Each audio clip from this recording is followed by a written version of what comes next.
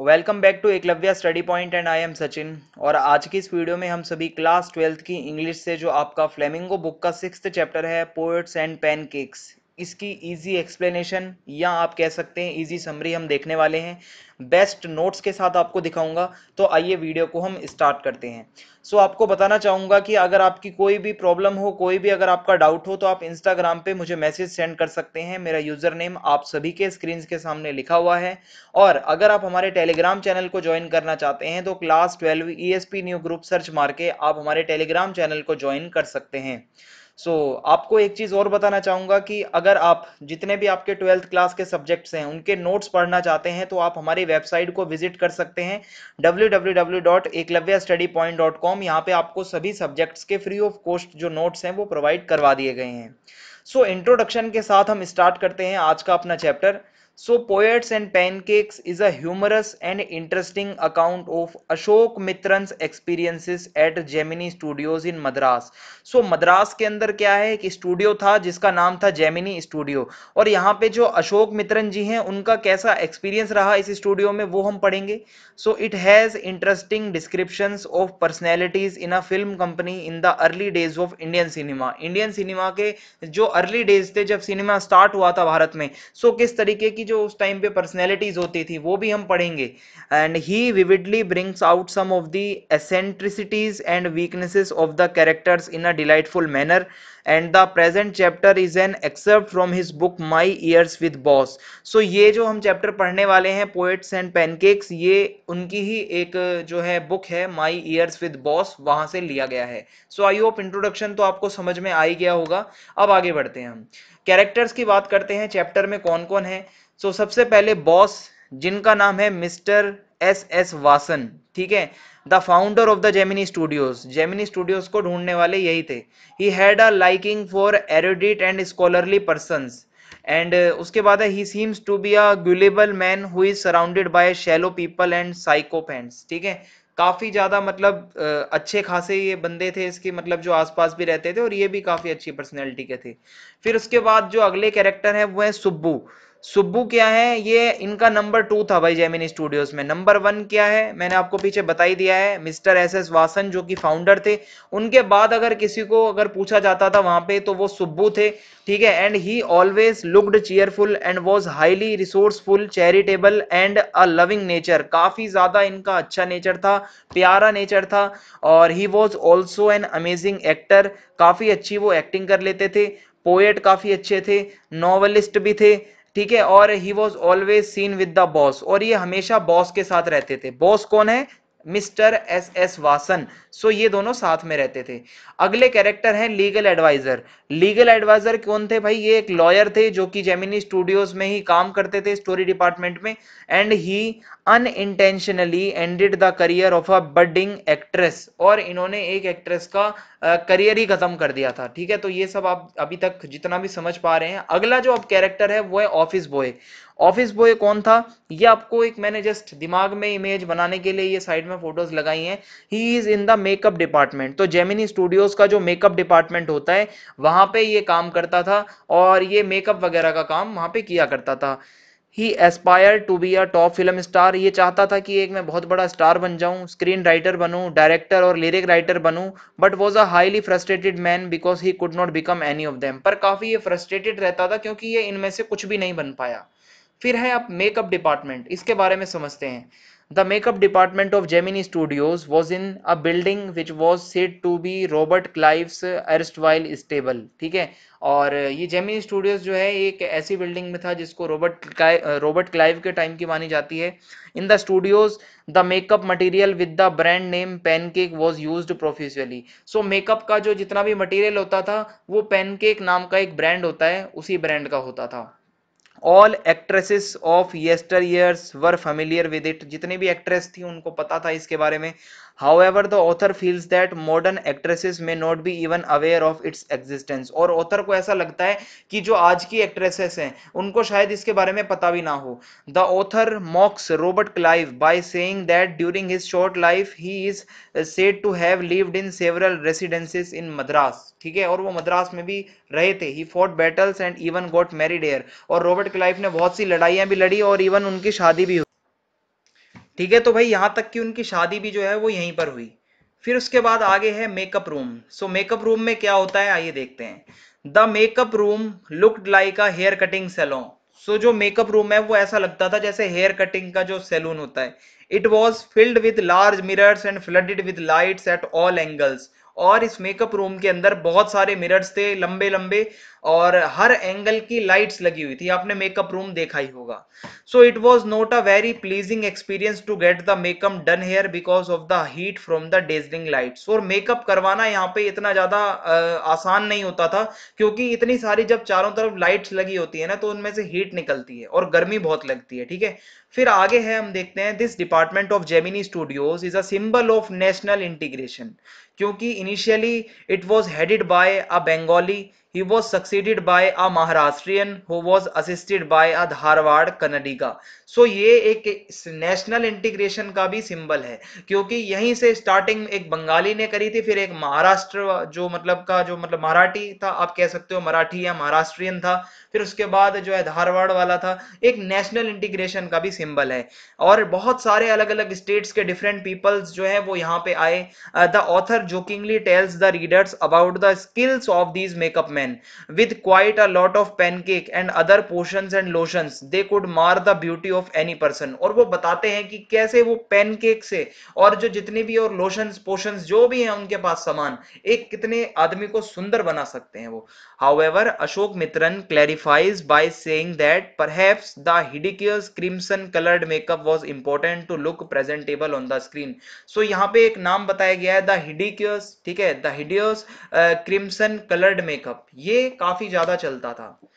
फिर है high in makeup department hierarchy का मतलब होता है कि आपकी जो पोस्ट है, ठीक है, छोटे से लेकर फिर बड़े तक जाना। ये छोटा है, इससे कोई सीनियर होगा, कोई इससे सीनियर होगा, फिर उससे सीनियर फिर उससे सीनियर फिर सबसे सीनियर सो ये हायरकी सिस्टम होता है, ठीक है?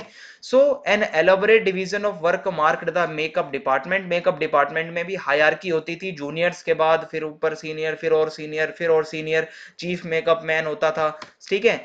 फिर उसके बाद ही senior assistant looked after the second hero and heroine while the junior assistant took charge of the main comedian so इस तरीके से ये सब काम करते थे। The players who played the crowd were looked after by the office boy of the departments ठीक है? फिर आगे है ऑफ़िस बॉय ऑफ़िस बॉय क्या है? भाई, ये मैंने आपको स्टार्टिंग में भी बताया था office boy was not exactly a boy he was a man ठीक है? ये ऑफ़िस बॉय बस एक उसकी पोस्ट का नाम है, वो कोई लड़का नहीं था। एक वो मैन था, जो लगभग अपनी फोर्टीज में था, चालीस साल का होने वाला है। He joined the studio years back कुछ साल पहले उसने स्टूडियो को ज्वाइन किया था। वो एक फ़िल्म स्टार बनना चाहता था screen writer director lyric writer बनना चाहता था, पर इसमें से वो कुछ नहीं बन पाया। ठीक है? अब काफ़ी फ्रस्ट्रेटेड रहता था एंड वो बहुत सारी कविताएँ भी लिखता था पोएट्री भी लिखता था। आगे है नरेटर अब नरेटर के बारे में कुछ जान लेते हैं हम। The narrator worked in a cubicle so his work was to cut newspaper clipping and store them in files इसका काम था कि न्यूज़ पेपर की कटिंग को निकालो और फाइल्स में रखो everybody thought that his work was next to nothing and so he was continuously lectured by other employees हर कोई समझता था, उनका कोई काम ही नहीं है। The office boy often came to his cubicle and gave vent to his feelings of frustration and irritation leading out of his failures and the narrator desperately wished to escape from his continuous tirade and prayed for a crowd shooting. फिर आगे है सुब्बू। सुब्बू जी का नाम यहाँ पे मैंने आपको पहले भी बताया था इनका पूरा नाम है कोठ मंगलम सुब्बू। सो ये दूसरे नंबर के सबसे इंपॉर्टेंट आदमी थे जेमिनी स्टूडियोज के। So according to the office boy Subbu did not deserve anything because he was neither well educated nor had any exceptional talent वो ऑफ़िस बॉय समझता था सुब्बू किसी काम के ही नहीं है। ना इनको कोई नॉलेज है ना इनको कोई एजुकेशन मिली हुई है ना इनमें कोई टैलेंट है। ओके okay, आगे देखते हैं। His only virtue was being a brahman due to which he got opportunities readily और वो कहता है कि ये सिर्फ़ एक ब्राह्मण था इस वजह से इसको अपॉर्चुनिटी मिल रही है so he was always cheerful even a flop film could not take away his cheerfulness और उनकी चाहे फ़िल्म फ्लॉप भी हो जाए, पर वो कभी दुखी नहीं होते थे, खुश रहते थे चेयरफुल रहते थे। The narrator takes a dig at him by saying that he always needed people to work for him but he was ever loyal to the chief और वो काफ़ी ज़्यादा लॉयल थे अपने चीफ को लेकर। Subbu could offer countless solutions to the problems of the producer of a film और अगर किसी भी फ़िल्म प्रोड्यूसर को कोई भी दिक्कत आती है तो उनके सॉल्यूशंस हमेशा सुब्बू के पास रहते थे। सुबुद पोएट अब ये क्या है? Although he was capable of writing on intricate topics he wrote poetry for the masses Subbu जो है, कविताएँ लिखते थे और लिटररी काफ़ी ज्ञान था उनको। He compose story poems in folk reference and dictions और स्टोरी पोएम्स उन्होंने लिखी। He created the mood and manner of the devadasis of the early twenty century and even wrote a novel Thillana Mohanambal ठीक है? Mohanam by ये भी इन्होंने लिखा। फिर है Subbu the actor the narrator mocks Subbu by saying that he was an amazing actor narrator कहते हैं, सुब्बू काफ़ी अच्छे एक्टर थे। Although he played minor roles वो छोटे मोटे रोल प्ले करते थे but he performed them better than the lead actors लेकिन जो बड़े बड़े एक्टर्स होते थे, उनसे भी अच्छी एक्टिंग सुब्बू की होती थी। He always said nice things about everything and everyone और हमेशा वो सभी के बारे में अच्छी बातें ही करते थे। His house was crowded with acquaintances and relatives who stayed there permanently, और उनका घर हमेशा भरा रहता था, उनके साथियों से उनके रिलेटिव से जो कि वहाँ पे रहते थे फिर आगे है लॉयर लॉयर क्या है although Subbu always stayed with the boss देखो बॉस के साथ सुब्बू हमेशा रहते थे was taken to belong to the story department so the story department comprised of the uh, comprised of a lawyer and a group of writers and poets besides subbu subbu के साथ साथ वहाँ पे लॉयर भी होते थे story department में so the lawyer was the legal adviser lawyer का काम यही होता था लीगल एडवाइजरी देना एंड uh, लेकिन सारे उसको इलीगल एडवाइजर कहते थे क्यों he had unintentionally brought about a sad end to the career of a budding talented actress by recording her outburst against the producer और उन्होंने एक बहुत बड़ी एक्ट्रेस का करियर खत्म कर दिया था ठीक है तो इस वजह से इसको लोग इलीगल लॉयर भी कहते हैं।